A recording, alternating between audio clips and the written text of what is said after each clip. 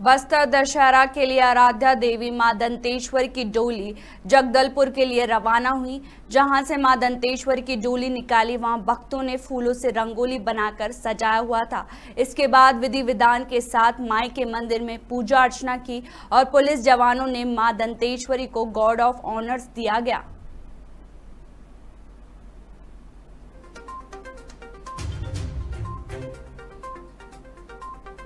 जैसे कि आज जो है, अष्टमी की तिथि है और पूर्वज पूर्वज से जो है, यथावत जो है, पंचमी के दिन माई जी की जो है डोली और छत्र, माई जी के द्वार तक जो है, निकाशी उसकी हो जाती है और पूजा अर्चना के साथ वहाँ स्थापित करते हैं। और अष्टमी के दिन जो है, विश्व प्रसिद्ध बस्तर दशहरा के लिए माँ दंतेश्वरी की डोली और छत्र, ये जो है, जगदलपुर के लिए जिया डेरा में प्रस्थान हो जाती है। और आज जो है, इतने श्रद्धालु गणों का जो भीड़, जो उमड़ पड़ी है, माता के एक झलक, एक दर्शन के लिए, ये आज का जो यह माहौल जो है, देखने योग्य है और माता रानी जो है, सभी की मनोकामना पूरी करें और सभी को जो है सुख, शांति, समृद्धि प्रदान करें। बोलिए दंतेश्वरी मैया।